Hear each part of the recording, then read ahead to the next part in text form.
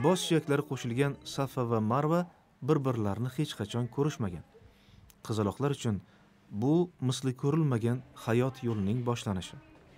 2018 yilning oktyabr oyi londonning great ormond shifoxonasi. Egizaklarning onasi qariyb ikki yildan buyon duo qiladi.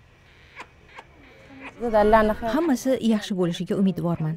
Doim ollohga yuzlanaman. U har ishni chiroyli qiladi. Safa va marvaning bosh suyaklari bitta uzun quvurga o'xshaydi. Bunday holat kamdan kam kuzatilgan. Yigirma bir oylik qizaloqlar har birining miyasi alohida ammo buzilgan shaklda. Jarrohlik amaliyoti o'ta murakkab. Bir necha oy ichida uch bosqichda amalga oshiriladi. Oxirgi amaliyotga qadar egizaklar bir biridan ajratilmaydi Safaning miyasidan marvaga qon berib turuvchi tomir bekilgan aslida ikkovlon ham bir birlarining miyalarini qon bilan ta'minlab turishadi. Ushbu bog'larni kesish esa o'ta xatarli. Jarayon ikki bosqichda amalga oshiriladi. Egizaklar pokistonlik. Aslida jarrohlik amaliyoti bir yil oldin qilinganda qizlarning tuzalib ketish imkoniyatlari kattaroq edi. Ammo tibbiy xarajatlarni to'laydigan donor topish oson bo'lmadi. Xatarlarga qaramasdan oila va shifokorlar amaliyot to'g'ri tanlov ekaniga ishonadilar. Buni omon eson amalga oshirish imkoniyati juda ham katta emas deb ishongan bo'lsak bu ishga qo'l urish urmaslikni anchayin puxta o'ylab ko'rgan bo'lardik. Ammo butun boshli jamoa ularni ajratish uchun ajoyib imkoniyatga egamiz degan fikrda edi.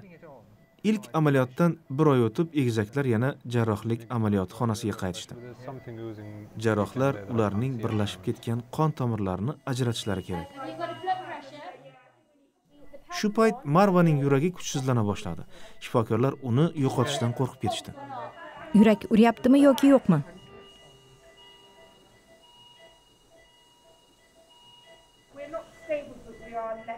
Barqaror urmayapti. Juda ham beqaror. Men uchun bu yetarli. Inqiroz o'tdi. Marva kuchsizroq bo'lgani uchun jarrohlar unga yirik qon tomirini berishdi. Ammo bu safaning zarariga bo'ldi. Yigirma soatlik amaliyotdan keyin unda yurak xuruji kuzatildi. Uni berib qo'yishimizga oz qoldi. Amaliyotdan keyin 48-72 soat ahvoli og'ir edi. Bu qizlar uchun ham yaqinlari va ularga qarayotgan butun boshli shifokorlar jamoasi uchun ham o'ta mushkul davr bo'ldi. Egizaklar uzoq vaqt jonlantirish bo'limida saqlanganlaridan keyin o'zlariga kelishdi. Keyingi qiyin jarayon qizlarni bir birlaridan ajratish bo'ladi